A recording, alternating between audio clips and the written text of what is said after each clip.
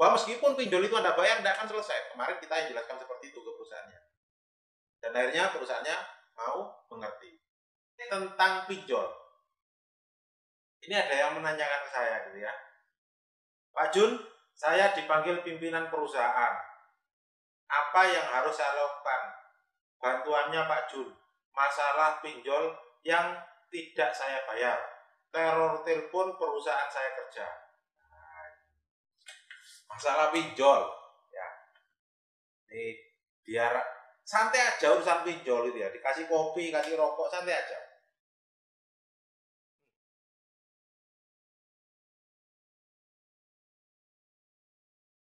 Jadi teman-teman sekalian, kalau masalah pinjol, memang dampaknya kan kompleks, gitu ya, kompleks. Ini mungkin kemarin beberapa waktu yang lalu gitu ya. Itu saya kebetulan kedatangan tamu, salah satu salah satu korban pinjol, bukan korban, pelaku.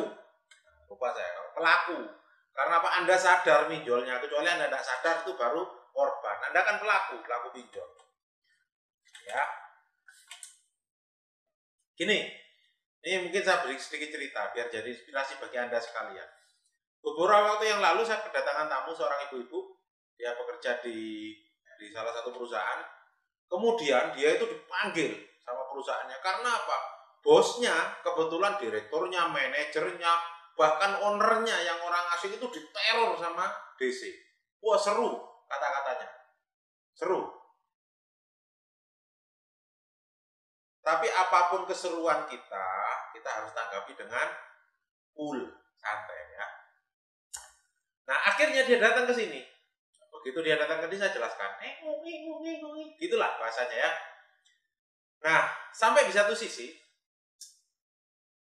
kemudian perusahaan pinjolnya misalkan A gitu ya. Dia kerja di perusahaan itu sudah lama dan diancam kalau besok tidak selesai masalah pinjolnya dia akan dikeluarkan. Kasihan. Akhirnya mendasari itu saya berikan wawasan, saya berikan e, pencerahan. Kemudian dia ada surat kuasa ke kita juga. Mendasari surat kuasa itu akhirnya perusahaannya saya suratin bahwa urusan pinjol ini dari debitur atas nama ini sudah dikuasakan kepada kantor hukum saya. Kantor hukum Nenggala Alugoro. Gitu ya. Nah, perusahaannya saya suratin Surat kuasanya saya sertakan kopinya dan legalisirnya. Mendasari itu, perusahaan akhirnya apa? Oh ya sudah, kalau memang ditangani oleh pengacara. Jadi pada waktu ada surat kuasa disampaikan Pak untuk urusan masalah terornya sudah disampaikan. Kemudian dia telepon kita juga konfirmasi, ya memang benar, tak sampaikan. Oh iya Pak, mohon maaf itu memang datanya seperti ini ini, ini diteror oleh pinjol. Mendasari hal tersebut, Akhirnya perusahaan mengkonfirmasi kepada kantor kita.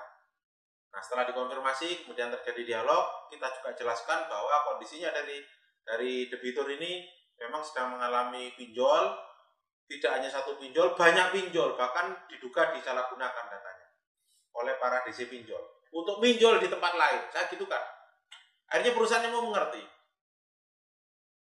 Perusahaannya mau mengerti, oh ya sudah kalau seperti itu. Nah, kemudian kita berikan langkah-langkah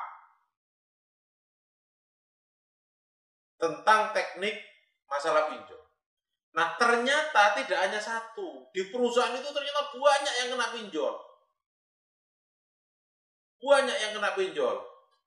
Nah, akhirnya eh, karena sering komunikasi, jadi terutama manajer HRD-nya sering komunikasi dengan kita, eh, jadi dekat. Dan akhirnya paham tentang masalah teknik-teknik penyelesaian masalah pinjol. update terakhir beberapa waktu yang lalu itu menyatakan Pak ini teror sudah mulai reda. Bahkan sudah mulai reda. Bahkan kalau ada yang nyari sudah tak bilang itu sudah keluar, sudah keluar, sudah keluar. Bahkan sudah tak bilang sudah tak keluarkan, sudah tak keluarkan, sudah tak keluarkan gitu. Bukan urusan perusahaan, urusin sendiri. Ketika minjemin juga tidak konfirmasi ke perusahaan. Sampaikan seperti itu dari HRD-nya dan pejabat-pejabat di perusahaannya seperti itu. Tapi ingat, yang bisa saya bantu adalah Anda memberikan kuasa kepada kantor hukum saya, ya. Kantor hukum saya sudah banyak cabangnya di hampir seluruh Indonesia. Nanti kita yang akan menjelaskan ke perusahaan tersebut kalau memang mendasari surat kuasa dan kemudian kita kirim surat ke perusahaan itu belum menyelesaikan atau memberikan solusi.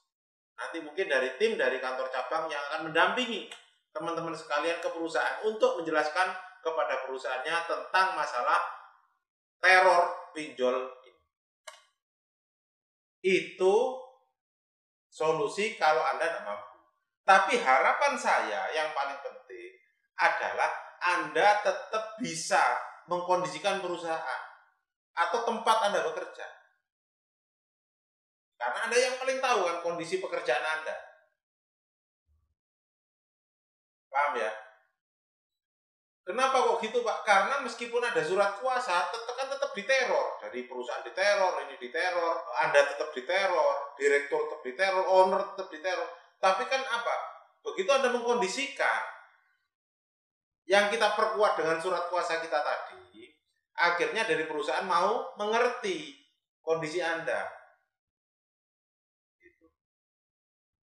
Ada juga yang miring perusahaan. Nah, kamu bayar pinjol aja tidak mampu kok bayar pengacara gitu ya. Ya sampaikan aja. Oh itu pengacara komunitas kita pak. Bayarnya suka-suka aja gitu ya. Jadi bayarnya tidak terlalu memberatkan. Daripada saya bayar pinjol tidak selesai, jelas Anda jelaskan aja semua. Bahwa meskipun pinjol itu Anda bayar tidak akan selesai. Kemarin kita yang jelaskan seperti itu ke perusahaannya. Dan akhirnya perusahaannya mau mengerti. Perlu perusahaannya suruh like, suruh melihat channel saya biar tahu bagaimana channel Secret Finansial mengedukasi masyarakat terkait dengan gagal bayar pinjol. Mungkin itu jawaban saya. Semoga bermanfaat. Terima kasih.